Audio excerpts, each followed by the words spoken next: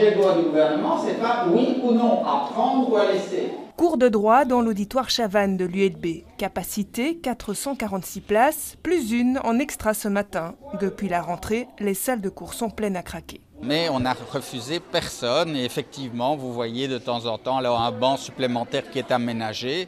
Ben, tout ça n'est pas, euh, n'est pas un grand problème. Tous les jours, euh, il y a toujours autant de personnes. Du coup, voilà.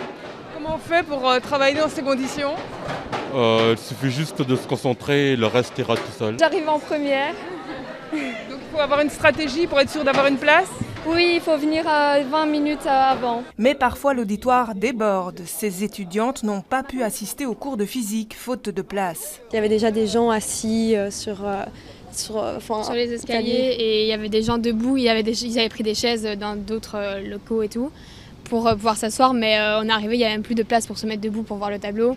Même debout, on était à l'extérieur du, du bâtiment. Même si l'ULB ne souhaite pas communiquer les chiffres officiels des inscriptions avant leur clôture définitive mi-octobre, on sait que chaque année, l'université enregistre une hausse de 8 à 10% La croissance du nombre d'étudiants cette année est encore plus forte euh, que prévu.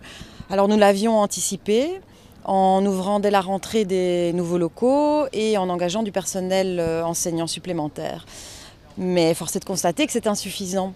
Donc euh, on va ouvrir dans les prochains- prochaines semaines des locaux supplémentaires. Des locaux supplémentaires que l'ULB recherche désormais en dehors du campus, dans des bâtiments privés comme des bureaux par exemple. Et en attendant, le moindre recoin transformable en auditoire est utilisé. Ce cours d'économie est donné dans la bibliothèque centrale.